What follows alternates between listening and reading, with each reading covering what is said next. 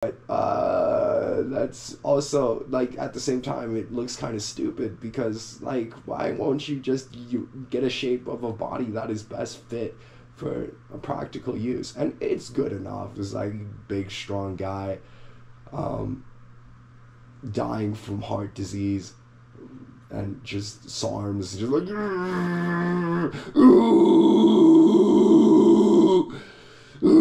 I'm so angry at myself in the mirror in the morning. Ooh. And then like like you're just this big muscled up gearhead on SARMs you gotta open a pickle jar. You can open that pickle jar. You gotta lift a car, you can lift a car. It's like just mass, man. Just get big. That's a good principle. Just get big. Just muscle, muscle, muscle. And I, me personally, I like I might be huge one day, but that's only if it, there's like at some point. I'm just gonna burn out too quickly if I'm too muscular. Like realistically, you want to be light, you want to be fleet, you want to be not burn too many calories per movement that you do. I'm a good size. I'm six foot. Um, right now to 15 to 10. And like I could knock out a motherfucker. Like there could be the mountain that what is his name? Bjorn. There could be Bjorn. And like if I had to fight him, I'm not saying I'd win. I'm not saying I'd bet on it but I could fight him. I could punch him in the face, and he could get knocked out on the first punch. Um, and then like I could still I'm I could still smash his liver or whatever if I practice my kicks more. I, I haven't pra- been practicing my martial arts as of late. Um, I need to shadow box more. I'm pretty good at it. I'm great at visualizing. I have some of the best technique. I have this understanding of martial arts that is like just mostly practicing, um, not like actual fighting, but I understand how to move my body in all the fun, most fundamental ways that would be the framework for me to get into a real fight.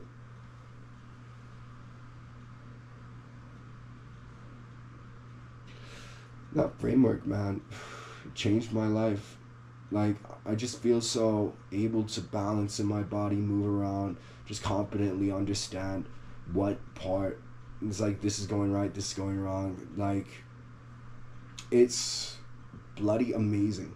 It's bloody amazing.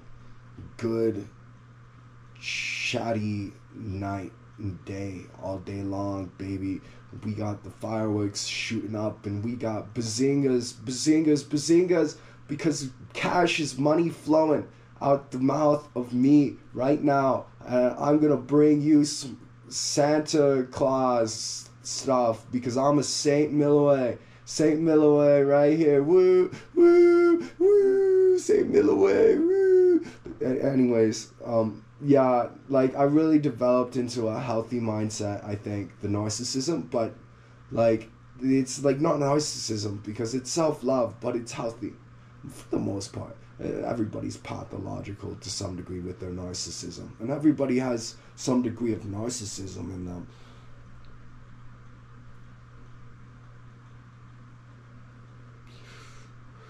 Bigger, smaller, be without ego. You can hold yourself in high regard or two. You can do neither.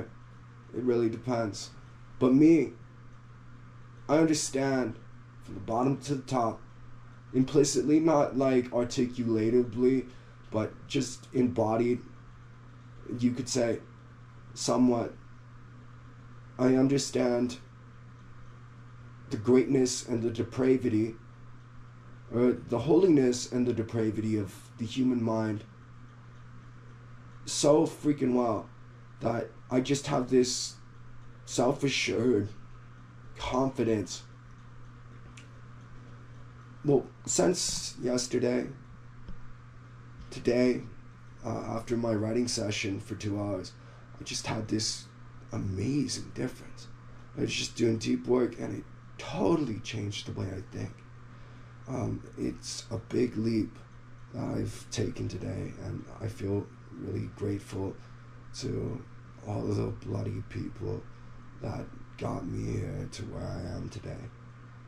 I feel hopeful about the future. I feel like I have realistic expectations that I can bloody finally help someone.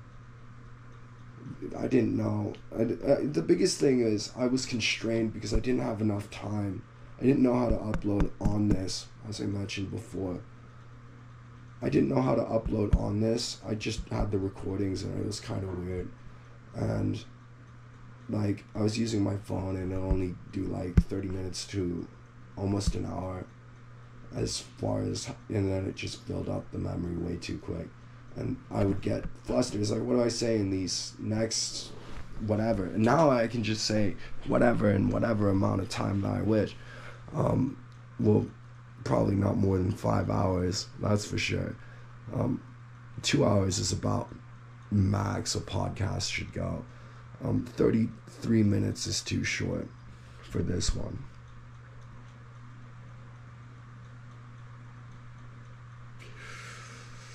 So,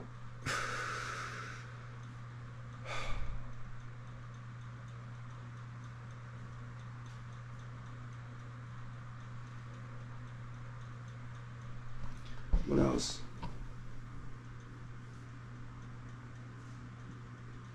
Tyler To say? Oh no. This is what I kind of like though. I like not knowing. When you don't know anything at all. I've learned to stay in that state, not knowing. Always good intention.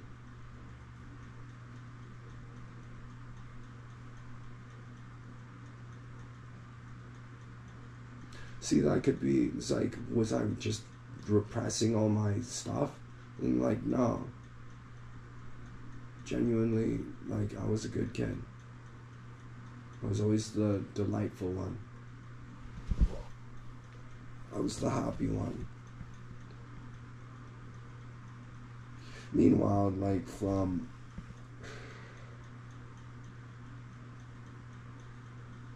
the age of like probably like third, fourth grade, I realized I couldn't talk to girls, and I didn't really talk, and I, that was really lonely. I was really freaking lonely, but it taught me how like I am like one of the most independent men on this planet. Like I know how to exist without the without oh, women. Normally, people just went for that draw at some point more than me. Like I was totally isolated from like I didn't even I was like what the fuck is it like to talk to a girl until I was like in high school and then the first year of high school I really started hanging out with this group of girls and that totally changed a lot of what I see about the world that was cool that was really cool that was the last year and I made friends with a girl.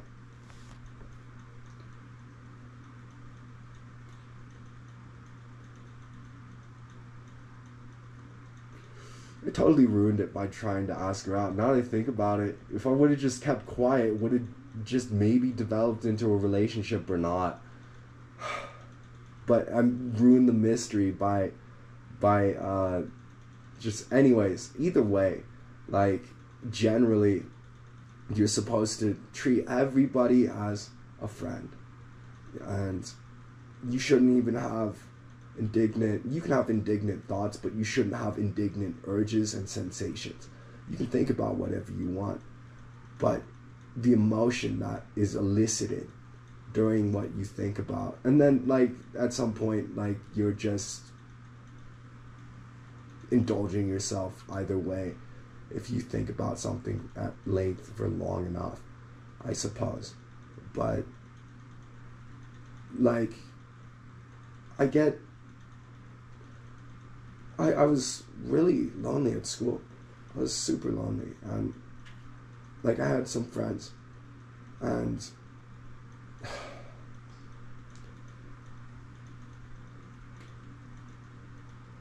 I had plenty of friends. I just never invited them over. Not even like there was if there was people in the neighborhood, I'd hang out with them, and they would sometimes come over to my house. But I always thought my house is lame, and I always wanted to go over to other people's houses.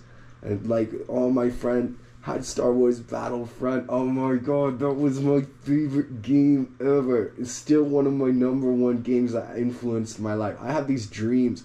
I have these amazing dreams about how you could make a Star Wars Battlefront game that is just blows any game out of the water. I got so many ideas from dreams.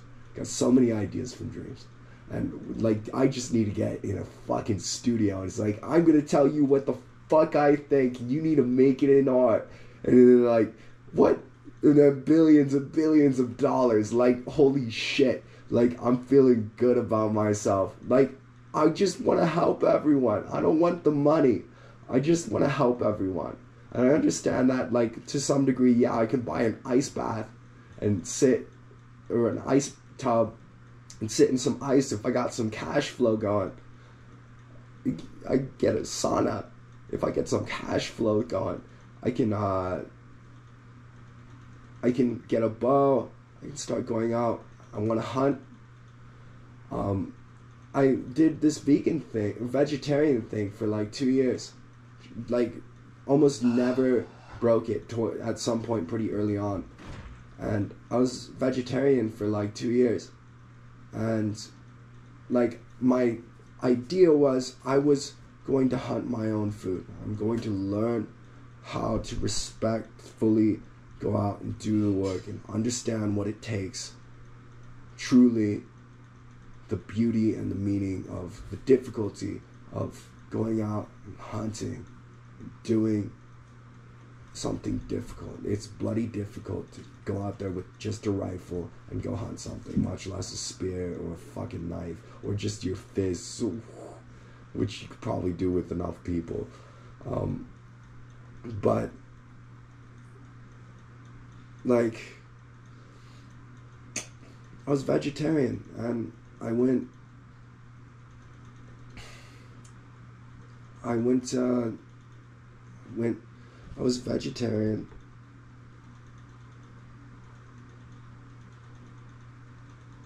And I wanted to hunt my own food. I think I ate fish once. I went fishing once, but no, I didn't eat the fish. I didn't catch any fish while I was doing that. I, yeah, I didn't go fishing while I was doing that, I think. But, like, wanting uh, to do that, I wanted to get a bow. I wanted to get an air rifle. I wanted to be the guy who, like, there's going to be a civil war popping off. I want to be armed. I want to be dangerous.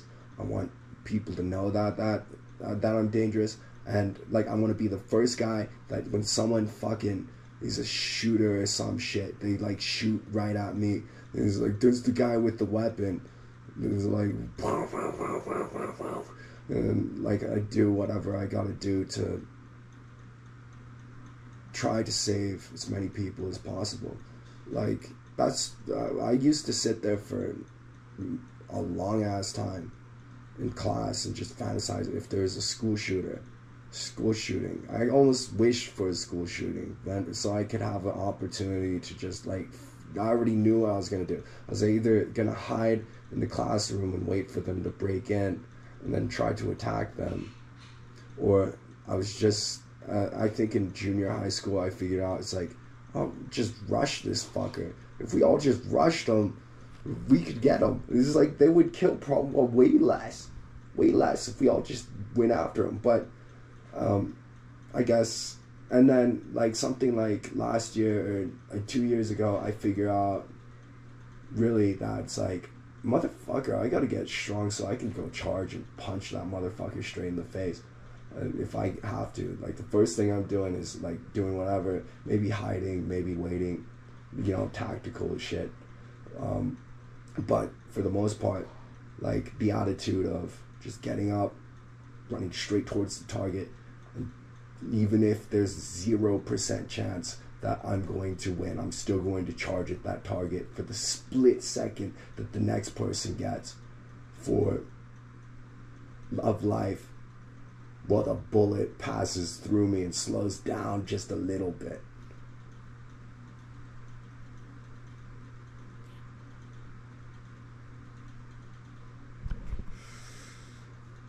I guess I'm gonna have to be constrained by the battery life on this thing. It's gone down to 50. I think it was at 100 when I started. 40 minutes. Well,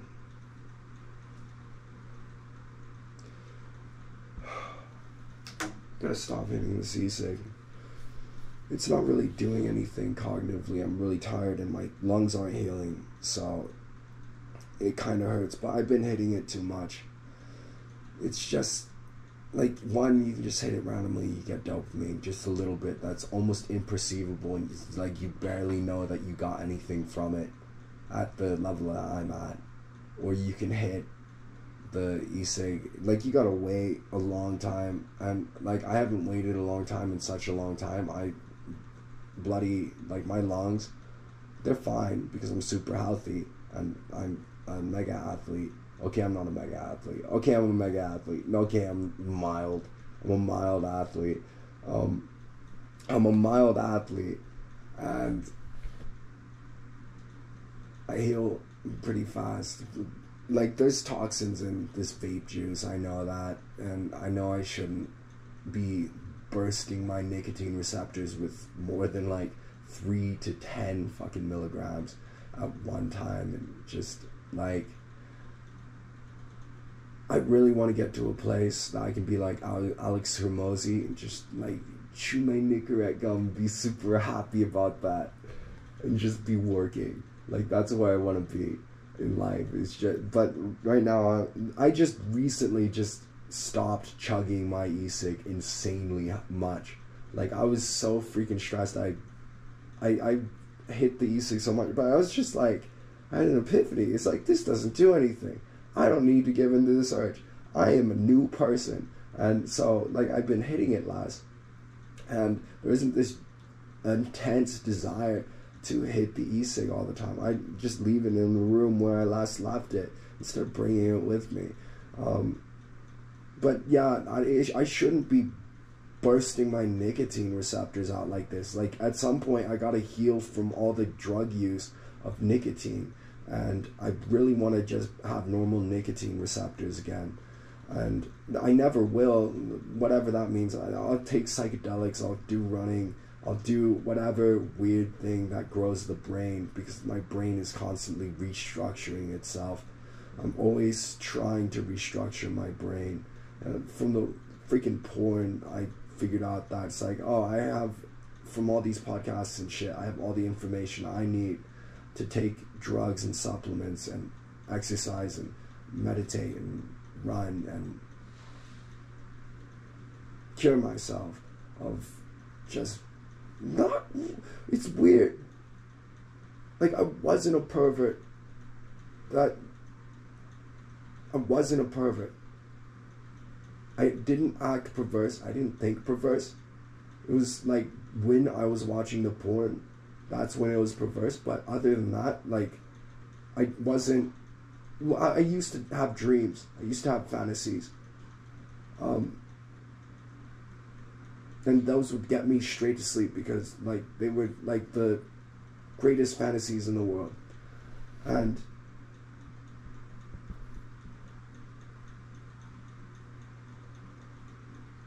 I don't know. I'm just glad that I'm a virgin, and I, I think I would feel a lot more guilty if I had had sex. Um, I think there's something still essentially innocent about me, and I want to hold on to that for as long as I can. And I kind of have orders to hold on to that. But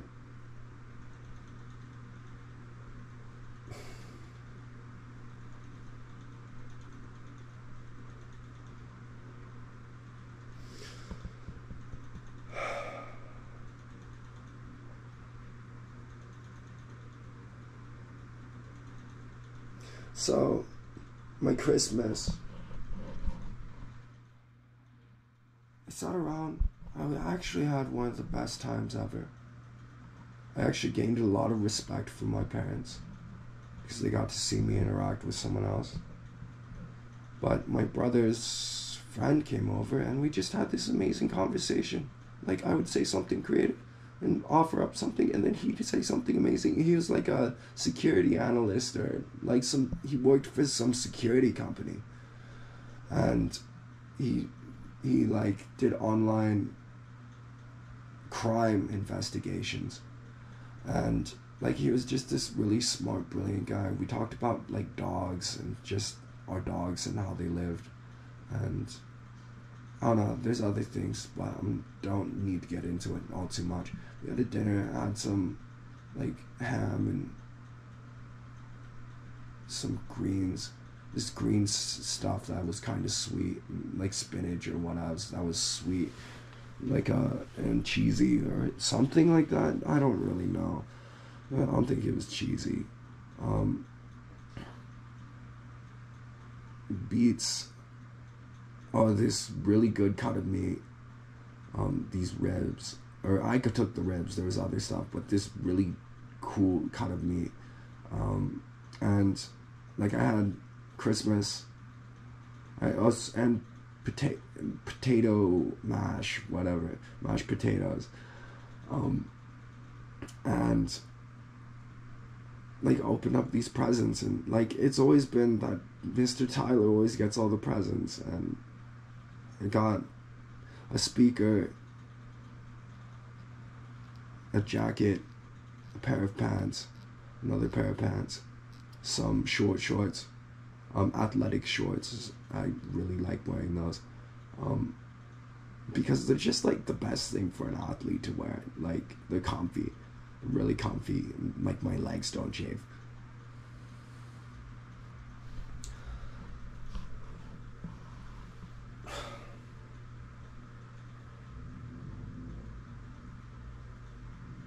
Christmas is like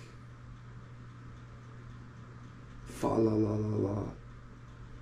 I was uh, out there and people were talking about me. Like I was on Discord and I was running around. I just like ran like four or five miles around the neighborhood over and over and like I was talking on Discord and like people were talking about how they've changed their opinion of me. Mm. Yeah. And thinking about it now, that's mostly just subconscious things.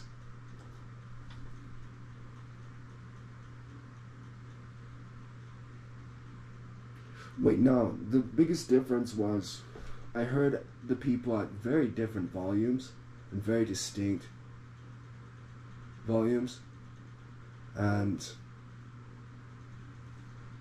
like I've been wondering about that mystery for like a year or two. It's like how many people can I hear and how much is schizophrenia? I didn't even know I had schizophrenia until I got to this new house.